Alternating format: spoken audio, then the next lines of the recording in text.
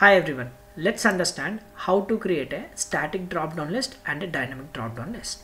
First, to create a drop-down list, go to the cell where you want your list to be created and hit Alt DL. Alt DL is the shortcut for data validation.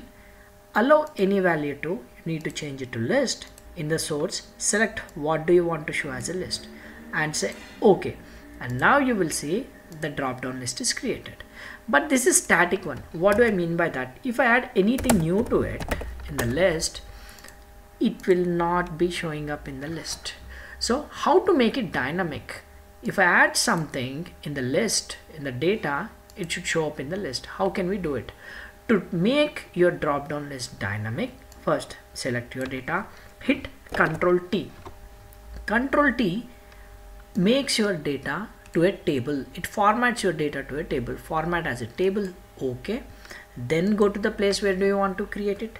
Say alt dl from any value to change it to list in the source select your table and just to say okay to it.